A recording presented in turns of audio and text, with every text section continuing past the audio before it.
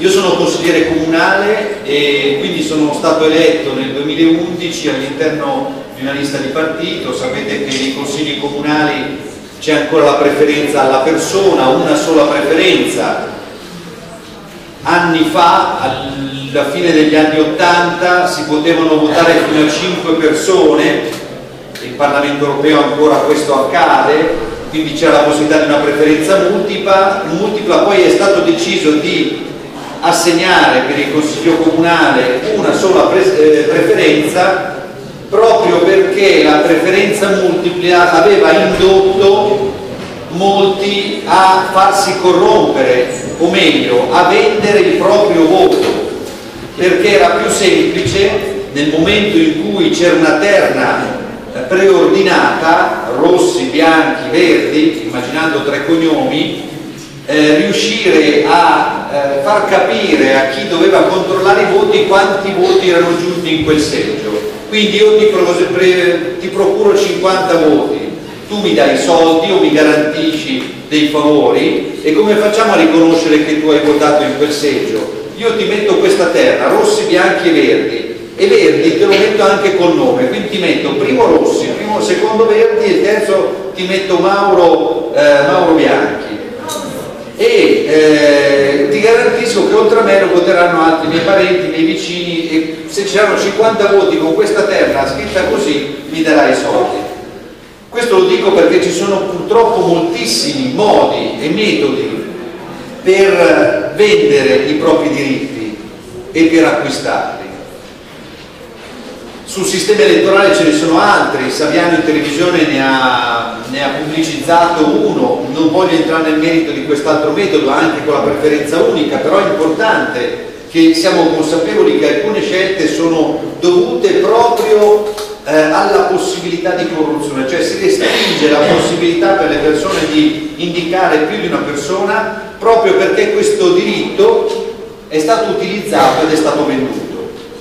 Comunque io sono stato eletto nel 2011 alla carica di consigliere comunale, ero consigliere comunale anche nel passato mandato, dal 2008 perché sono subentrato come primo dei non eletti quando una consigliera comunale è entrata in Senato e eh, fare il consigliere comunale è di fatto un lavoro ed è giusto che sia un lavoro, cioè è un uh, impegno che viene retribuito. Io considero che sia giusto che sia retribuito il cittadino a cui sono affidati incarichi pubblici come dice la Costituzione, perché il fatto che uno sia retribuito dà la possibilità di poter dedicare il tempo necessario agli atti che deve votare e prima di votare deve capire, conoscere, approfondire e anche individuare all'interno di un gruppo di persone delle persone che lo possono aiutare perché io ho delle competenze ma come consigliere comunale sono chiamato a votare su tantissimi argomenti dall'urbanistica al, agli aspetti sociali, agli aspetti di bilancio, economici, agli aspetti anche finanziari, eh, ad elementi riguardanti il traffico e quindi a tanti argomenti di cui io non sono competente, ma appunto durante le elezioni mi è stato affidato questo incarico. È giusto che si venga retribuiti e eh, io consiglio a tutti voi nel momento in cui a un certo punto della, voglia, della vostra vita vogliate dedicarvi alla politica di fare questa esperienza perché è un'esperienza molto interessante, molto importante, per esempio dà la possibilità a me di essere qui con voi, di parlare a voi e di aver ascoltato con un ruolo istituzionale, aver ascoltato i vostri contributi, dà la possibilità di dedicare 5 anni della propria vita, 10 anni della propria vita al bene pubblico, al bene collettivo, perché di fatto la politica è qualcosa di, strettamente legato al bene collettivo. Una persona ha dei principi con cui governa la propria azione, poi ha delle strategie, delle alleanze, perché non si può decidere da soli, nella democrazia si deve decidere insieme, raggiungendo almeno la metà di uno delle persone che, che sono state elette e quindi eh, lavorare per il bene collettivo e quindi governare eh, la cassa comune che noi tutti i cittadini, o gran parte, purtroppo non tutti, ma gran parte di noi mettiamo, cioè attraverso le tasse, governare e quindi decidere come impiegare queste risorse è un bellissimo lavoro. Volevo entrare nello specifico, mi è venuto in mente di quanto sia remunerato il mio lavoro perché secondo me è importante che in questo momento in cui si, si immaginano privilegi o si immaginano stipendi faronici che voi facciate, prendiate la misura di quanto prende un consigliere comunale. Io prendo 125 euro lordi ad ogni seduta di consiglio comunale e ad ogni commissione a cui partecipo. Quindi in teoria uno potrebbe fare un altro lavoro e svolgere anche l'attività di consigliere comunale eh, perché ha dei permessi, io potrei andare la mattina al lavoro, poi all'una alla commissione ho il permesso eh, non retribuito, anzi retribuito perché non viene scalato lo stipendio, per andare in commissione e poi tornare al lavoro. Nella commissione si affrontano i temi di cui si voterà. Ci sono alcuni che rinunciano al lavoro eh, che avevano prima per dedicarsi a tempo pieno dalla mattina alla sera al consiglio comunale, io ho rinunciato a un lavoro dei due che avevo e ne ho ottenuto uno che personali, però perché il tempo che uno deve dedicare al Consiglio Comunale è estremamente importante e, e, e ampio, 125 euro fino a un massimo di 1600 euro eh, per quel mese. Ad agosto non ci sono commissioni e noi non abbiamo gettoni di presenza e stipendi. Quindi 1600 euro, quando facciamo al massimo 19 commissioni, se ce ne sono 15, prendiamo meno questo è il metodo con cui veniamo retribuiti. E è tanto o è poco, questo lascio alla valutazione di ciascuno, è importante però che chi fa politica venga retribuito, non si può pensare che uno faccia politica a titolo volontaristico, perché alcuni lo possono fare perché pensionati, perché molto ricchi o magari perché studenti mantenuti dalla famiglia, altri non lo possono fare perché il lavoro è importante, mantenere una famiglia è, è, è uno dei primi compiti che uno si pone nella propria, nella propria vita, quindi è importante che sia un lavoro retribuito. Troppo, troppo poco, quanto? Sicuramente al termine del mio mandato nel, 2000, nel 2016 io terminerò questo lavoro, quindi un lavoro a contratto a tempo determinato. Questo ve lo dico perché è importante che voi facciate anche delle riflessioni sul ruolo della politica, sulla politica e anche immaginiate magari a un certo punto della vostra vita che possa essere per voi interessante fare questa esperienza e ripeto, io ve la consiglio perché è un'esperienza molto stimolante. Voi avete trattato nelle vostre relazioni diversi argomenti, la corruzione, la mafia, la complicità, la responsabilità personale, eh, i danni della corruzione, avete accennato al tema dello sport, ci sono moltissimi stimoli e io come Presidente della Commissione antimafia ne ho trovati alcuni che, che riguardano espressamente la mia, la mia competenza. Volevo trattarne uno perché non ho il tempo di trattarli tutti e poi probabilmente non, non sarebbe utile e il mio intervento vorrebbe, penso, stimolare poi anche un dibattito successivo se si avrà tempo. Il tema dello sport. Noi abbiamo avuto una situazione molto particolare a Milano noi se voi andate sulla Milano Meda verso Meda uscendo o rientrando comunque se uscite sulla sinistra a un certo punto dopo la sede della Lega vedete il palazzetto dello sport di Via Iseo bruciato. È un palazzetto bruciato che è rimasto lì per, per molti mesi così purtroppo. A dicembre finalmente abbiamo trovato risorse economiche per restituirlo così com'era la città. Perché è stato bruciato? Non si sa nel dettaglio, però è stato protagonista di un fatto estremamente grave per la città di Milano Quel palazzetto eh, è stato detto dai magistrati che hanno arrestato 35 persone, è stato colonizzato da un clan mafioso che gravitava intorno a Affoli, Bruzzano e la Comasina. Cioè un clan mafioso che aveva eh, di fatto cominciato a dialogare con chi gestiva il centro sportivo fino ad arrivare a imporre le proprie aziende o le proprie persone per gestire il bar, il catering, avere un ufficio all'interno del centro sportivo, utilizzare il centro sportivo per feste personali. La situazione si complica perché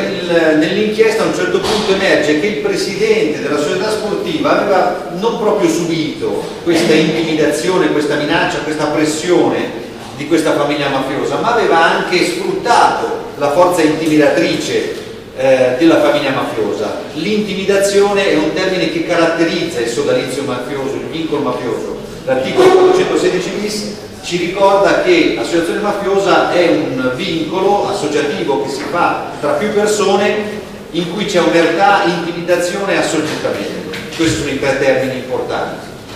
Ma cosa fa il Presidente? A un certo punto sembra quasi che sfrutti questa, questa, questa capacità di intimidazione perché una persona di una società sportiva che aveva utilizzato il centro sportivo a un certo punto litiga col Presidente, vuole querelarlo e il Presidente chiama questa famiglia mafiosa e chiede di intervenire per fare in modo che questo ritiri la querela che poi ritirerà.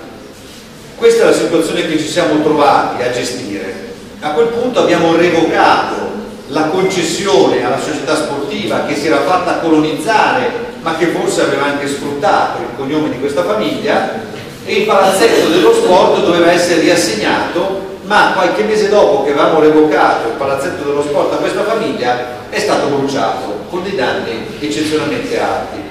E tutti pensiamo che è stata la vendetta della mafia contro il comune di Milano.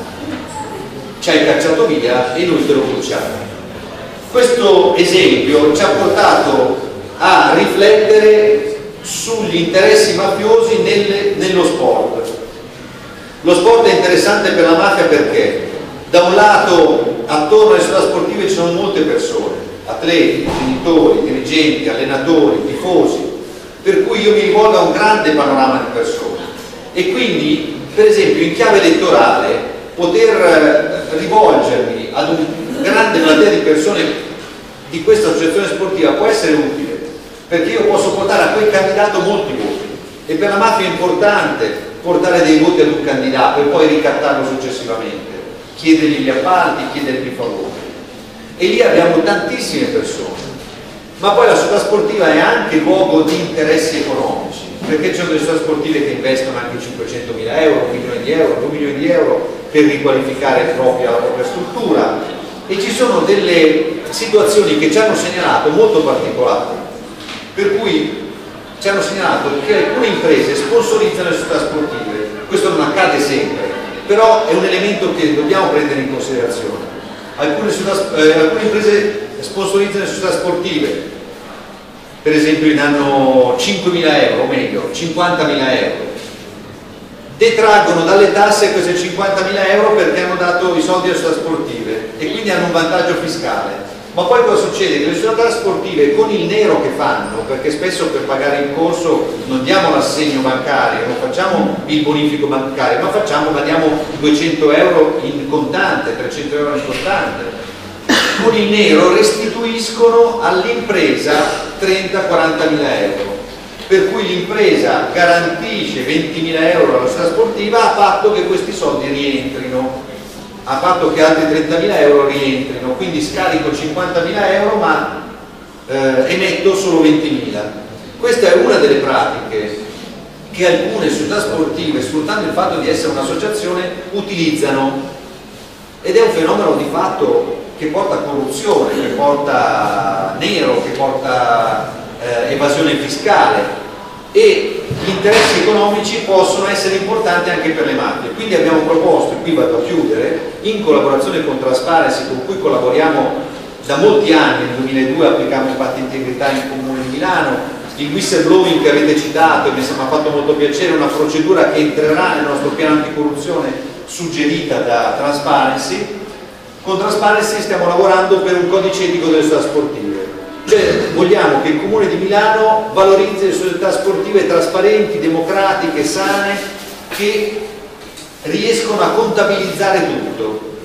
perché ci sono e quindi vogliamo valorizzarle. Quindi l'idea è quella di premiare gli onesti, in modo tale che l'onestà possa essere in qualche maniera un valore eh, riconosciuto pubblicamente, ma addirittura un valore che, che, può essere premiato, per cui i contributi del Comune di Milano non vanno a caso alle società sportive, ma vanno alla società sportiva per esempio che è la più democratica, mette i bilanci su internet, eh, rendiconta tutto e quindi chiede per esempio ai genitori di pagare con bonifico bancario, fa l'iniziativa contro la corruzione, contro il doping nello sport, fa l'iniziativa contro la pedofilia, fa l'iniziativa contro le scommesse.